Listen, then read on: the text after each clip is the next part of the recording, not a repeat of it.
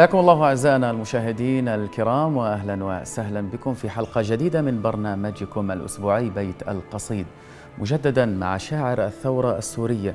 الشاعر الذي ينتمي إلى كلمته وتنتمي كلمة الحب والسلام إلى شعره تنتمي كلمة الثأر والحق إلى شعره تنتمي كلمة الأمل بالقادم إلى كل ما يكتب ويجود به من قصيد. معنا هنا دكتور أنس دغيم من سوريا. أهلا وسهلا بك مجددا في بيت القصيد. دكتور تحياتي أنس لك شاعرنا الجميل الأستاذ مصطفى. أهلا وسهلا بك.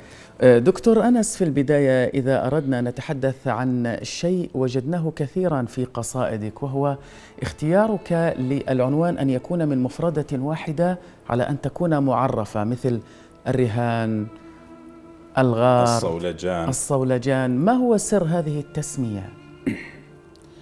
أه، أولا اختصار التسمية في كلمة واحدة. أه، تأخذ القارئ إلى استكشاف مكنونات. نعم. يعني سيسأل نفسه السؤال آه، المعنى لن يصل بأكمله ولا حتى بمعشار ما في القصيدة من خلال كلمة. لذلك هذا سيدفع القارئ إلى استكشاف مكنونات القصيدة وسيقول ماذا يريد؟ آه، الشاعر بهذا العنوان. وربما جاء العنوان وهو الكلمة الواحدة آه، ليس له تلك العلاقة الوطيدة بالنص. نعم. هذا أيضا سيدفع القارئ أكثر إلى الاستكشاف إلى تفحص النص إلى الانتباه لجزئيات يريد الشاعر من المتلقي أن ينتبه نعم. إليها. آه ثم أنا لا أريد أن أغرق القارئ بداية آه بجملة. لذلك فأريد منه أن يدخل النص آه آه بسرعة أحسن. لكي يعرف ما فيه لذلك أنا أكثر عناويني وإن لم يكن كل العناوين أكثر العناوين أختصرها في كلمة واحدة الصولجان نعم. الغار الرهان وهكذا جميل جدا دكتور أنس. ربما اعتاد عليك جمهور المحبين ومحبو أنس دغيم كثر ونسأل الله أن يزيدوا دائما. بارك الله فالطمع بمحبة الناس شيء إيجابي وخلق قويم وسليم. ربما تعودوا أن تظهر وتلقي الشعر غيبا. لا عن الورق وأنا هنا أثمن موافقتك على طباعة النصوص الجديدة حتى أناقشك ببعض مضمونها لأنها إذا ظلت حبيسة عقلك فسيصعب علي الوصول إليها. دعني من هنا أستنبط سؤالا دكتور أنس. هل ترى أن الشاعر من الواجب عليه أن يحفظ قصائده أم لا مانع من الاسترشاد بالورق أحيانا؟ ليس من الواجب ولكنه الأفضل حقيقة. من خلال أمسياتي الشعرية أو تقديمي لبعض الأمسيات. نعم. آه وقع الكثير من الشعراء آه في آه ارتباك وحرج.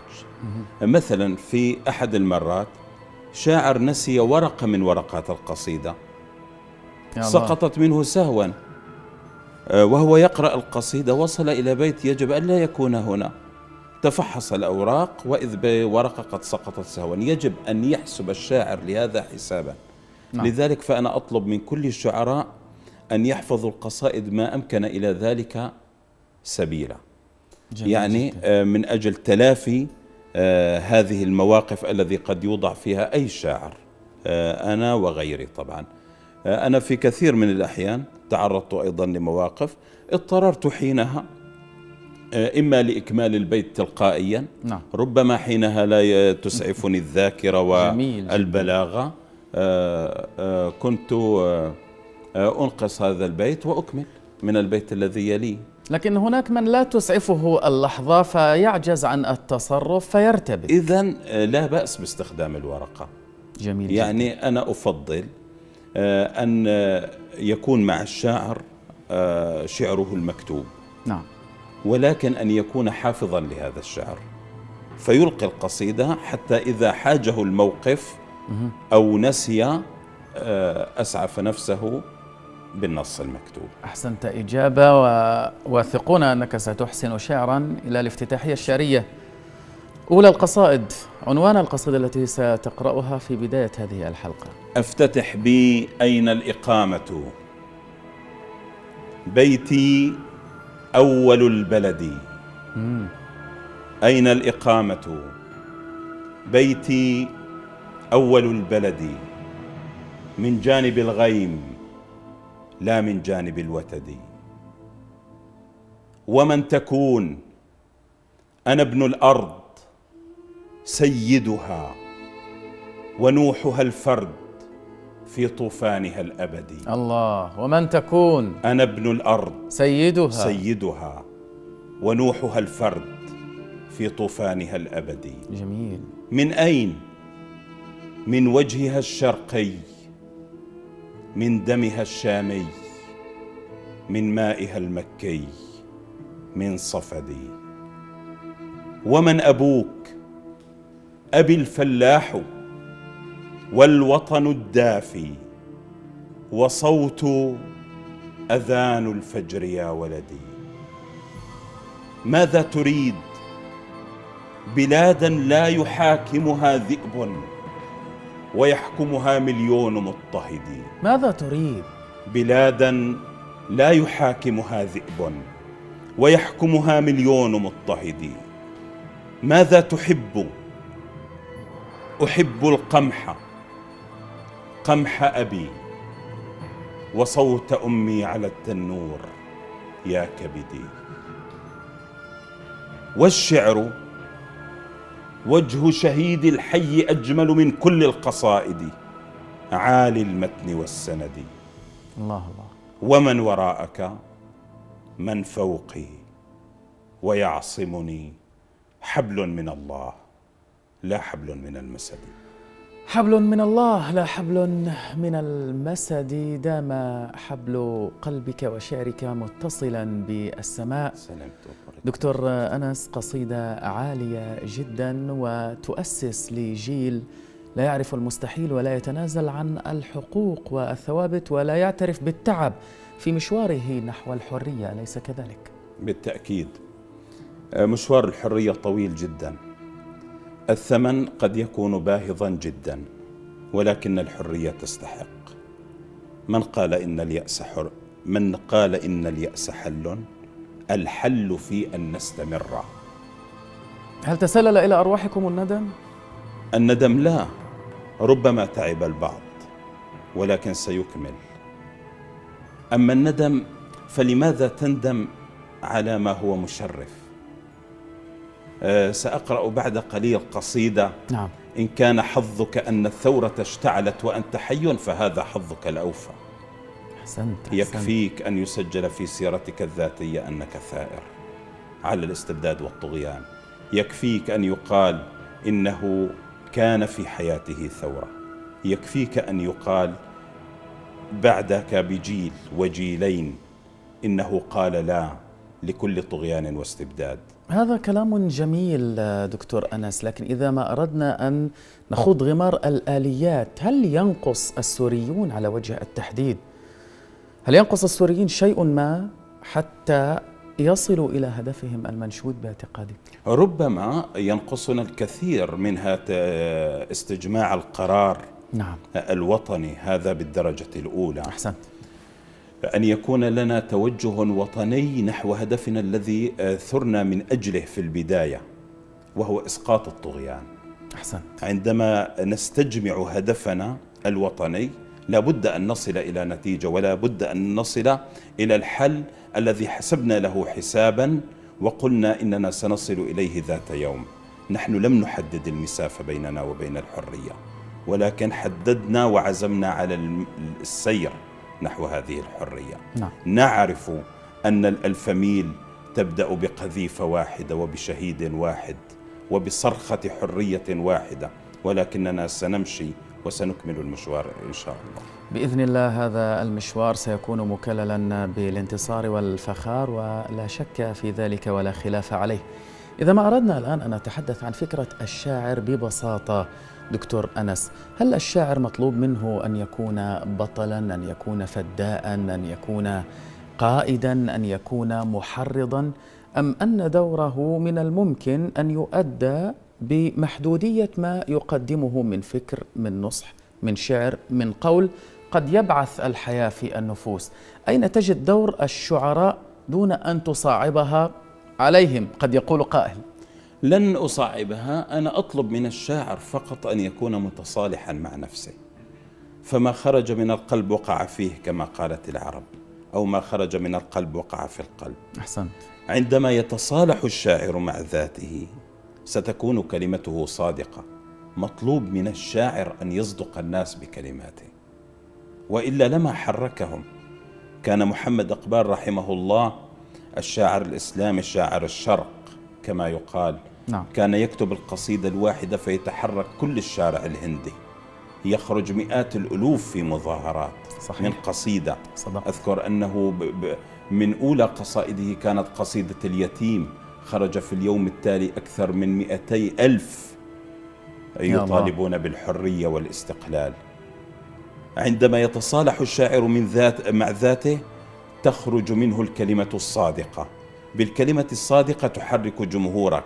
نعم. وتسوقهم سوقا إلى تصديقك وإلى القناعة بحرفك وفكرتك. هذا فقط وباختصار فلن أصعب على الشاعر. لن أقول له يجب أن تكون ملائكيا. لا ولكن كن ابن الشارع ابن الناس ابن الهم ابن الذين تكتب لهم. ولهذا نقول لا تكتبوا للناس من برج عاجي آه، باسق. انزلوا آه، آه، إلى النبض. ولذلك أنا كنت أنصح كل شاعر أقول له لا تكتب حرفا واحدا في صحائفك حتى يتوضأ بماء زمزم ويصلي في القدس خمس مرات. الله. مدلول هذه العبارة أن تكون لصيقا بقضايا شعبك بهموم أمتك. حينها تكون كلمتك آه، فاعلة ومحركة. رأيك ما شاء الله لا يقل جمالا عن شعرك دكتور أنس وفيه من الحكمة ما فيه. قناة الأدب الخالد هي قناة شعرية على يوتيوب. سنتحدث عنها أنا إن وأنت شاء الله. ولكن بعد أن نشاهد إحدى القصائد المنشورة على هذه القناة ما رأيك؟ لا بأس. إذا مشاهدينا الكرام نخرج الآن إلى هذه القصيدة ضمن فقرة قصيدة للوطن. نتابعها من ضمن سلسلة الأدب الخالدة المخصصة للشعر والشعراء احتفاء بالمشهد الشعري وانتصارا للفصحى التي تشرفنا جميعا. نتابع هذه القصيدة ومن ثم لا نعود. ابقوا معنا.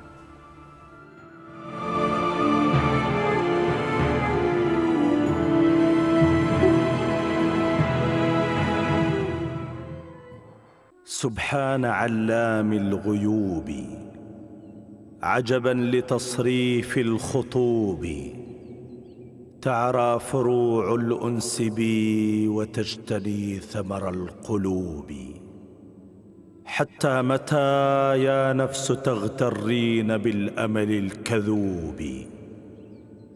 يا نفس توبي قبل أن لا تستطيعي أن تتوبي. واستغفري لذنوبك الرحمن غفار الذنوب.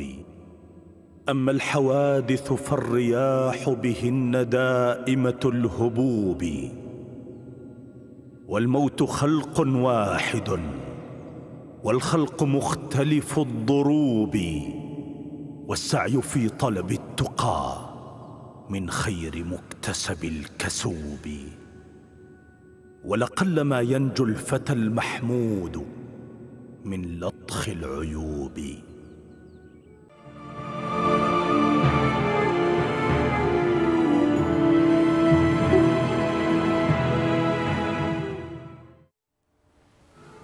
حياكم الله أعزائنا المشاهدين ومجددا نرحب بكم ولمن التحق بنا في هذه اللحظات ضيفنا من سوريا وشاعر ثورتها. الدكتور أنس. دغيم أهلا وسهلا بك. دكتور أنس معنا يا مرحبا قبل قليل شاهدنا هذه القصيدة من سلسلة الأدب الخالد والتي تعدها وتجهزها شبكة آرام الإعلامية إن نعم. لم تخني الذاكرة ما الهدف من هذه السلسلة أو هذه القناة التفاعلية شبكة الأدب الخالد أو قناة الأدب الخالد تفضل آه، طبعا الفكرة ليست جديدة ربما لأي متصفح على يوتيوب أن آه، تصادفه الكثير من القصائد نعم. نعم. التي قيلت بصوت فلان أو صوت فلان آه، الفكرة جديدة بما- سيأتي إن شاء الله نعم فهناك تجديد لهذه الفكرة ولكن انطلقنا آه، من كون الحاجة إلى استكشاف كنوز الشعر العربي والأدب العربي نعم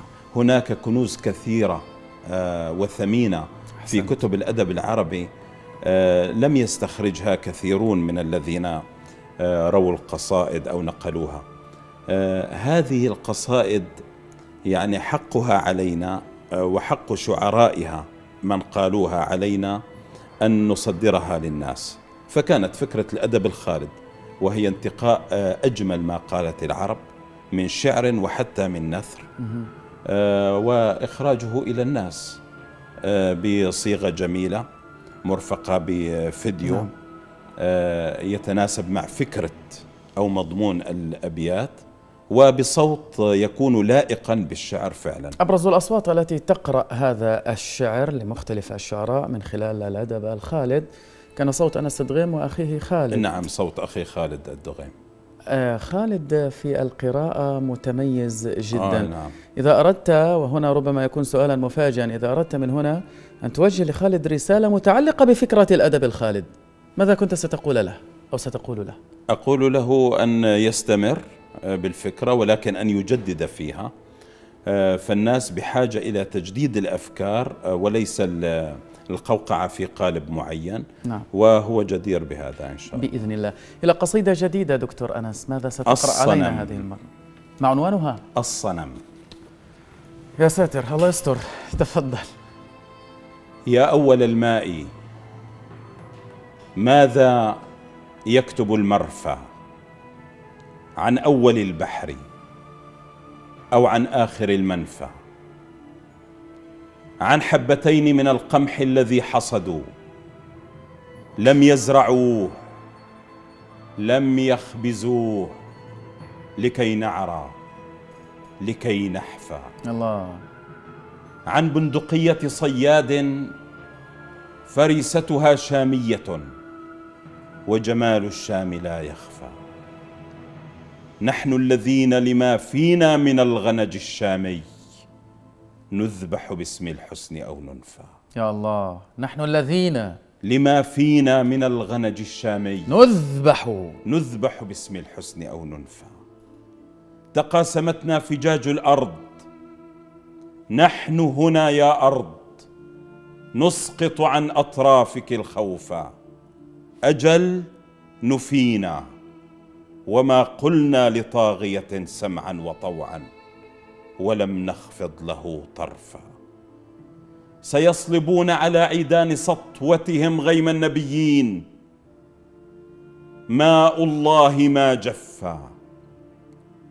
سيقطعون يمينا أقلقت صنما أقصى استطاعتهم أن يقطعوا كفا. سيقطعون يمينا. أقلقت صنما أقصى استطاعتهم أن يقطعوا كفا. لا يعلمون بأن الأرض مثقلة بالأنبياء وأن الثأر ما كفا وأنك الوطن الأغلى وليس لنا ظهر ونحمله كالسر أو أخفى. يا الله. ويا أبانا الذي أمرضتنا شغفا نحتاج حبك لا نحتاج أن نشفى. لولاك لولاك لم نحمل جماجمنا على الأكف وهذا الحمل ما خفى لو أن حرفا صفى يوما لطاغية وما لعنا محونا ذلك الحرف. قربان حبك أن نحفى ولا يجدوا منا يدا تتمناهم ولا خفا. قربان حبك أن, أن نحفى ولا يجدوا منا يدا تتمناهم ولا خفا. جميل. وقيل إن رؤوسا أينعت ولقد حان القطاف فقلنا عجلوا القطف وقيل إن لكم سقفا فلا تطأوا الأرض الحرام. فقلنا لم نجد سقفا. الله. أحلامنا نحن موسيقى. وليس لهم أن يخنقوا الصوت أو أن يوقفوا العزف. هذا الطريق الذي عبدته بدمي لن يبصر النور حتى أكمل النسف. وكلما كسروا سيفا شققت على صدري لأصنع من أضلاعه سيفا. الله الله وكلما كسروا سيفا شققت على صدري لأصنع من أضلاعه سيفا. وكم توعد هذا البيت أبرهة والفيل هاج وهذا الجفن ما رفا. نحن الطيور الأبابيل التي حملت من طين سجيل حتفا يحمل الحتفا. سينهض الطفل ابن العشر في فمه مليون لا تتحدى عشره ألفا سينهض الطفل. ابن العشر في فمه مليون لا تتحدى عشره ألفا على جدار بلا قلب سيكتب لا للطارئين ولا للسجن والمنفى. إن كان حظك أن الثورة اشتعلت وأنت حي. فهذا حظك الأوفى. إن كان حظك أن الثورة اشتعلت وأنت حي فهذا حظك الأوفى. يكفيك أنعم به من حظ دكتور أنس وأنعم بها من رسالة آه، تضع أصحابها على الطريق حتى يتبصروا الدرب القويم نحو بوابة الحرية المرتقبة. بعد هذه القصيدة لابد من وقفة مع سؤال ربما يكون غريبا نوعا ما. ما الذي يريده الشاعر من الجمهور وباعتقادك ما الذي يريده الجمهور من الشاعر؟ تفضل. آه، ربما آه، أتينا على ما يريده الجمهور من الشاعر. نعم. أن يكون الشارع آه، الشاعر ابن همه. نعم. وابن قضيته. أما ما يريده الشاعر من جمهوره؟ نعم. آه، حتى آه، إنني أعرف من ذاتي أنني لم أكن يوما آه، في منأى عن هموم أهلي وقومي. نعم. آه، آه، لا أستطيع أن أنفك عن القدس مثلا عن العراق. فهي لابد أن تسكن في أبياتك أن تسكن في نبضك. عندما تكون أنت متصالحا مع نفسك ومع قضيتك لابد أن تجد لكلماتك الصدى الذي تتمناه. أما ما يريده الشاعر من الجمهور نعم. فأن يحافظوا على هذا الصدى تماما أن يتفهموه. أن يعرفوا أن هناك قلبا عاش همومهم فكتب لهم الحروف وكتب لهم القصائد. وسهر الليالي لكي ينقل همه إلى همومهم. نعم. ولكي يترجم همومهم إلى العالم. فالشعر رسالة لا بد أن تصل إلى العالمية من خلال قلب الشاعر ذاته. أحسنت أحسنت إجابة دكتور أنس الآن ربما سنذهب إلى فقرة مختلفة قليلا عن المعتاد. سأطرح عليك أسماء خمسة شعراء كلهم من العصور القديمة أو من المتوفين لا من المعاصرين. وتتحدث باختصار عن أثر تجربة كل منهم. ليس على شخص أنس دغيم وإنما رأيك الذاتي في تجربة هذا الشاعر.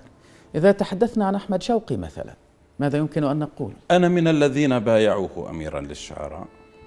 جميل. أحمد شوقي. أحمد شوقي كان شاعرا موسوعيا. كان يكتب قلبك وقلبي.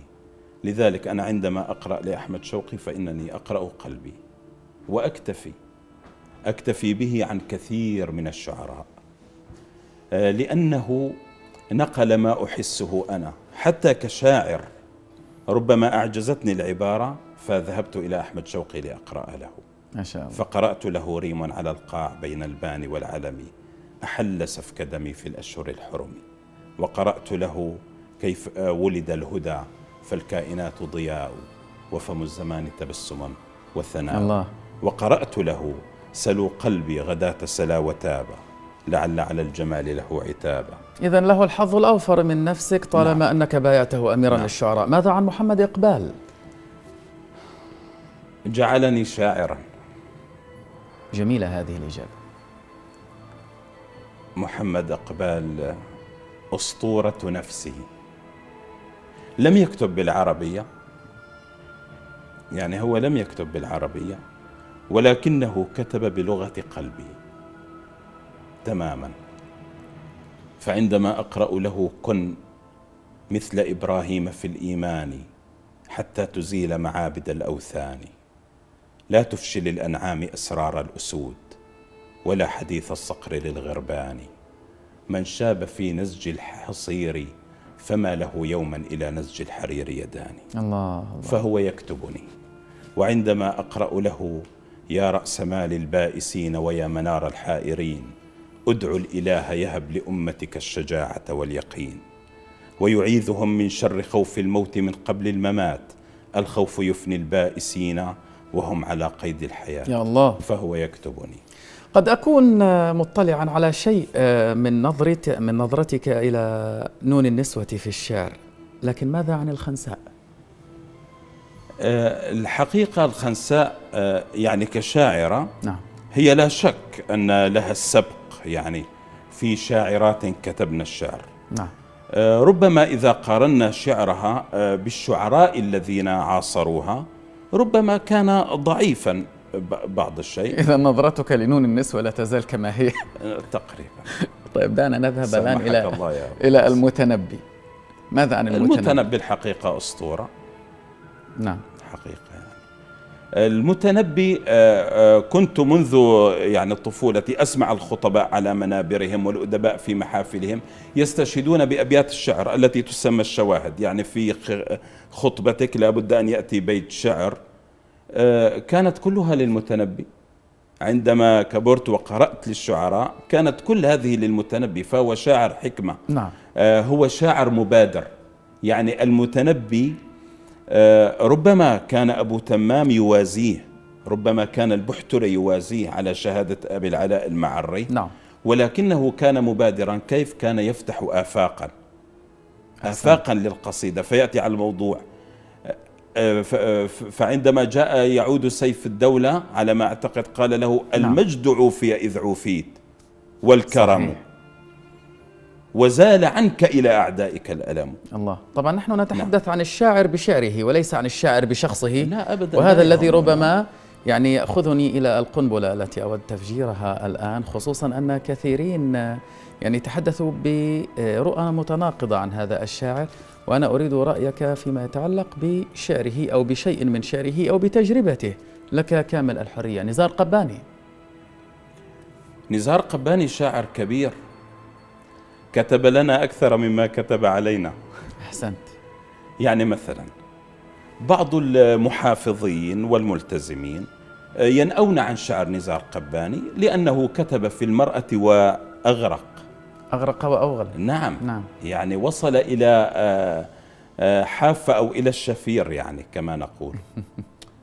ولكن هذا لا ينفي أنه شاعر كبير. نعم.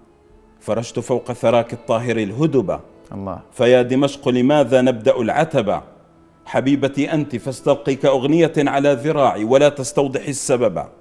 أنت النساء جميعا. ما من امرأة أحببت بعدك إلا خلتها كذبا. الله الله. كم مبحر وهموم البر تسكنه وهارب من قضاء الحب ما هربا. يا شام أينهما عينا معاوية؟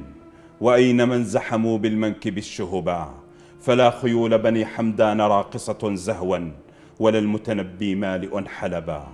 وقبر خالد في حمص نلامسه فيرجف القبر من زواره غضبا. يا رب حي رخام القبر مسكنه ورب ميت على أقدامه انتصبا. يا ابن الوليد ألا سيف تؤجره؟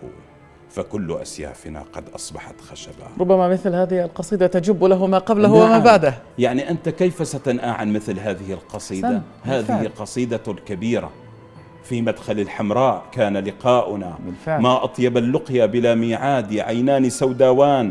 في حجريهما تتوالد الأبعاد من أبعادي وأمية راياتها موصولة. وجيادها. مرفوعة وجيادها موصولة بجيادي. يختم قصيدته قصيدته هذه فيقول يا ليت وارثتي الجميلة أدركت أن الذين عنتهم أجدادي عانقت فيها عندما ودعتها رجلا. يسمى, يسمى طارق الله, الله الله الله. فأنت عندما تأخذ موقفا حادا من نزار قباني ستخسر الكثير الكثير كشاعر وكمهتم بالأدب أيضا وبالشعر الجميل.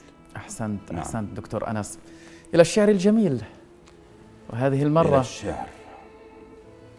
ما هو أو ما هي ما هو عنوان القصيدة التي ستقرأها علينا في هذه المرة؟ الرهان. خذنا إلى رهانك. قصيدة ومن المؤكد قصيرة. أنه رهان رابح. لأن من الشعر ما يجرح. سكت. وفي الوجه ما يفضح. يقول لي الشعر إني صديق. وإني بسكينه أذبح. يقول لي الشعر إني صديق وإني بسكينه أذبح. وألمح مصرع قلبي لديه وأهواه مع أنني ألمح. الله. كأن الطلاسم وقف علي وأني على وجعي أشرح. أخبئ عنه احتراق الفؤاد ومن يسكت النار إذ تفصح. أؤول بعض الذي أستطيع وعن متشابهه أجنح.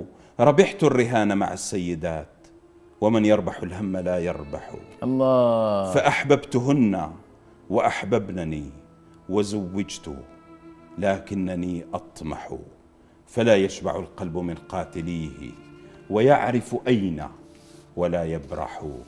كذلك تفعل بالعاشقين دمشق. وحكم الهوى يرجح. وأغفو على شعرها الليلكي وأغرق فيه وأمسي عليه ولا أصبح. ونغرق في من نحب ونرضى من القاتلين إذا لوحوا لرمش تهيل بالكحل أن لا يغادر قلبا ولا يذبح. غريب هو الحب يأتي لطيفا. الله. ونعشقه حينما يجرح. غريب هو الحب. غريب هو الحب.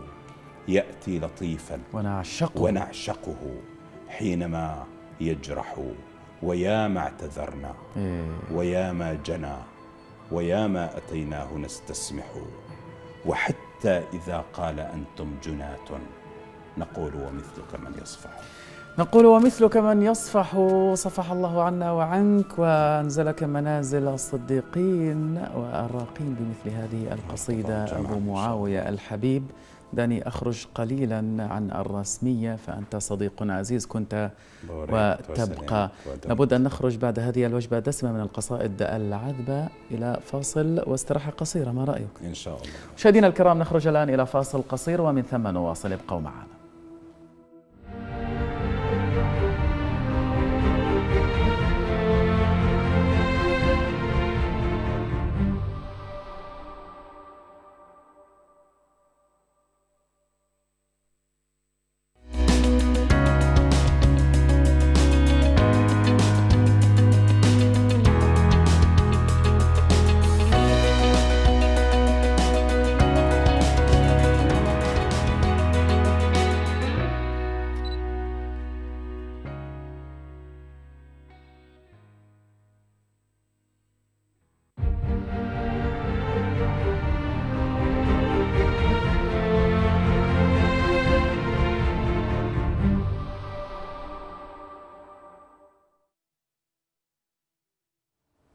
حياكم الله أعزائنا المشاهدين وأهلا وسهلا بكم. وصلنا إلى الفقرة الأخيرة في حلقة هذا اليوم من برنامجكم بيت القصيد. رفقة الشاعر دكتور أنس دغيم أهلا ومرحبا بك لك يا دكتور. أستاذ مصطفى. قبل أن نذهب إلى قصيدة ومنها تعرج إلى قصيدة أو تذهب إلى قصيدة ختامية قبل هذا سأطرح عليك خمس مفردات وتعطيني أو تعطيني رأيك أو رأيك بكل مفردة على حدة.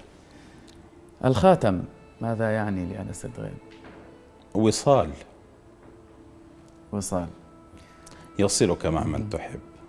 الطريق. العزيمة. يعني لابد أن تخطو. لابد أن يكون عندك إرادة. القفل أو القفل كما يحب بعض الناس. عادة ما يكون النهاية ولكن يجابه أيضا بالعزيمة والإرادة. فينكسر. ليس هناك قفل لا ينكسر. الشمس. حياة. ساعة اليد.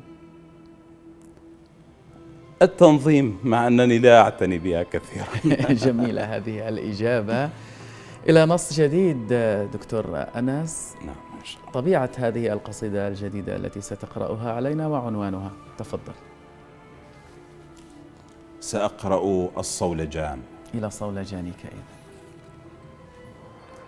لسبحان من أسرى. تسابيح راكعي. أرقنا دماء الخوف في كل شارع. وقلنا لقمح الأرض إن صلاتنا عبادة حب لا عبادة جائع. جميل.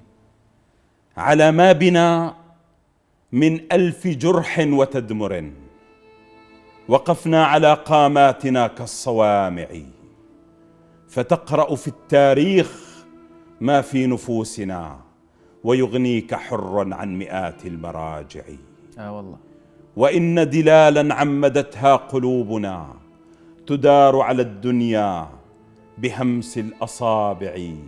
وما في جرار العمر من مائنا الذي وردناه ممنوع على كل خانع. إذا الأرض مالت تحتنا عن تكبر أقمنا لها أطرافها عن تواضع. نبيون والدنيا زبور وإننا حفظناه عن قلب وشكل وطابع.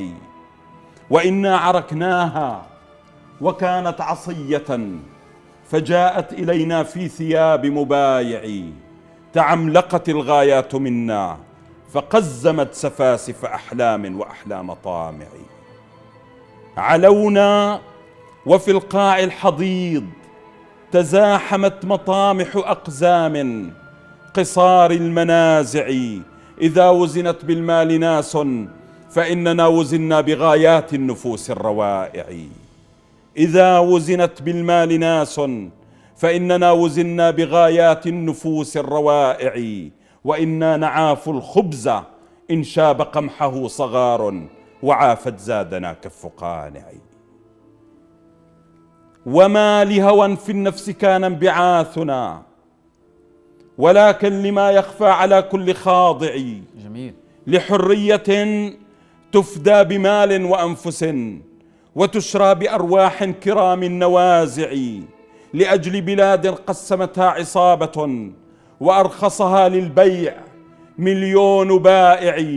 إذا قام هذا الصولجان على دم فلا خير في عيش هنيء ووادع. وإن الزنازين التي أغرقت على حرائرنا تكفي لسن القواطع فأجمل ما في العيش عيشة واقف. وأسوأ ما في الموت ميتة راكع الله جميل جدا. ننازع هذا الأمر كل مقامر. وننزعه من قلب كل مخادع.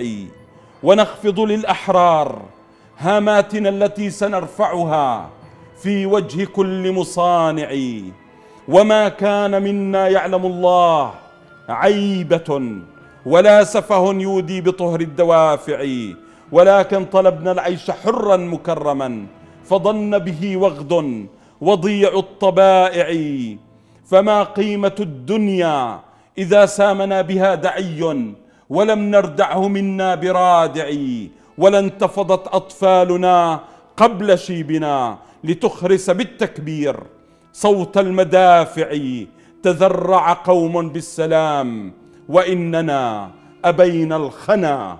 من باب سد الذرائع. كثير هو الحب الذي في جوانحي لأطهر وجه. يا طهارة جامعي أصوم لأرض لا يقاس جمالها برسم حدود أو بختم وطابع. فيا وطني المقموع من ألف حاكم سلام على من لا يذل لقامعي. سلام على الشمس التي منك أشرقت وأنت الذي فيك اختلاف المطالع وأنت الذي فيك اختلاف المقاطع لا فض نعم. دكتور أنس هذه القصيدة ربما تقودنا إلى شيء من الوفاء. أريدك أن تكلمنا قليلا عن الشهداء وأثرهم في نفسك. الشهداء. الشهداء هم آه، يعني فاتحو الطريق. هذا الطريق الذي إذا سلكناه وصلنا إلى الغاية. نعم. الشهداء هم أصحاب الإرث الجميل. يعني ربما حملك آخرون تبعاتهم تبعات أعمارهم. إرثهم آه الذي يكون على كواهلك قاسيا. أما الشهداء فإرثهم جميل. هو فقط أن تتابع طريقهم لتحصل على ما ينفعك. فما يعني لا يوجد أجمل من هذا الإرث في حضرة الشهداء. في حضرة الشهداء. كانوا وكان الموت أصدق قيلا. كانوا هناك يطيرون خيولا. يتسابقون إلى مصارع عشقهم غيمات فجر يهطلون صهيلا. شدوا على خيل الشموس سروجهم وجروا إلى ما فوق فوق سيولا. كانوا هناك على مسافة ثورة من موتنا. العمر كان هزيلا. هم من جديد أشعلونا مرة أخرى. فصار رمادنا سجيلا. إن الذين توضأوا بدمائهم صلوا. الله الله. فهللت الذرى تهليلا. وتفحصوا الصحراء. كان لمائهم فوق الذي في الماء كانوا النيلا هم أنبياء الشكل والمعنى وإن لم يؤتوا القرآن والإنجيل. يا الله جميل جدا. الحاملون الأرض حين تعثرت قمحا على أكتافهم ونخيلا والواقفون سنابلا لم تنكسر إلا لأن القمح كان ثقيلا. وقفوا قليلا قبل أن يتخضب المعنى فمروا في اللغات هطولا. كل الهوى من غيرهم متأرجح إلا هوى الشهداء كان حلولا. ولأن هذا العمر جاء منافقا جاءوا كاصحاب النبي عدولا. مسحوا على قلب الحياة وسافروا فاخضرت الجنات ميلا ميلا. صعدوا إلى السماء فكانوا في السماوات التي صعدوا إليها أنجما وحقولا. صعدوا فكانوا في في السماوات, السماوات التي صعدوا إليها أنجما وحقولا. والأرض نصف قصيدة من بعدهم وعدت بأبسل شاعر ليقولا. ولربما مالت على أطرافها فأتوا لئلا تنحني وتميلا. مات الذي يحيا ليحيا واحدا إلا الشهيد. قضى فعاش طويلا وهو الجواد بكل ما يفدى به إلا بماء الوجه كان بخيلا. في حضرة الشهداء كل الشعر متهم وأهونه الذي قد قيل هم علموا الأرض التي لم تبتكر حلا لآلاف الطغاة حلولا. سهروا كأسراب الحمام وإنهم تحت الحمام يواصلون هديلا. نامت بلاد الله في احداقهم هم أغمضوا أحداقهم لتقيلا إن الذي وهب الرسالة روحه لتعيش في الأرواح كان رسولا. إن الذي وهب الرسالة روحه لتعيش في الأرواح. كان رسولا. أحسنت أحسنت يا دكتور أنس. أنا لا أعلم إن كان الوقت المتبقي يسعفنا لقراءة القصيدة الأخيرة. تبقى معنا ست دقائق ولك التقدير. آه كافيه إن شاء يكفينا. إلى الرسول وإلى الشهيد. الأعظم وإلى خاتم المرسلين. صلى الله عليه وسلم. وقاب قوسين أو قاب قم قاب شمسين؟ ما عنوان قاب شمسين. إلى قاب شمسين. تفضل. وحده كان حين كانوا نياما حين لم يترك الكلام كلاما وحده كان فوق طور التجلي ينهز الشمس كي تشع غراما. كانت الأرض قاب شمسين. كانت تتهجى من العطور الختاما. الله. تتقرى ملامح الطهر فيها. فاصطفى الله للجمال إماما. ليس أعمى من لم ير النور. لكن كان من فرط ما رأى يتعامى. ما شاء الله. بعد يتمين قام أجمل طفل ذاق فوق الذي يذوق اليتامى. يمسح الحزن عن ملايين كانوا قبل أن يمسح اليتيم أياما. إن من أرضعته لم تك تدري أنها ترضع الندى والغمام يا الله. كان أنقى من ماء زمزم ماء ولأرقى الأخلاق كانت تماما وهلالا. رأته عينا بحيرا فنوى حينما رآه الصيام. يا الله. كان لليل ما له وعليه ولقلب توسد الآلام أن يكن الغرام فيه لماما ويهيج الغرام فيه لماما. سبق الفجر في هزيع من الأماني وما في جعبة الروح غير نور تسامى. سبق الفجر ثم شد فؤادا نحو غار من صخرتين وغاما بين تلك التلال مر سريعا كاليمام الذي يمر يماما وتسللت خلفه. كان شيء ليس كالشيء حوله يترامى شفق هالة ضياء وثوب تحته خاتم ومسك خزامة الله عليك ما أجمله ليس أغنى من الذي حاز ملكا. ورأى الخل نعمة وإداما يعظم الشعب بالذي فيه شأنا وبهم لا ترى الخيام خياما. إن من كان للدراويش بيتا صار للطائفين بيتا حراما. قمر واستدار لحظة مرت ريشة من جناح جبريل قاما. لم يكن يحمل البراق نبيا حمل الطهر كله والسلام. لم يكن يحمل يحمل البراق. البراق نبيا. حمل الطهر كله والسلام بين هاء الهدى وتاء التجلي. لم يضل الفؤاد إذ هو هاما الذي قام من أناه يتيما. كيف صلى بالأنبياء إماما. عيروني بأنني حين أهوى.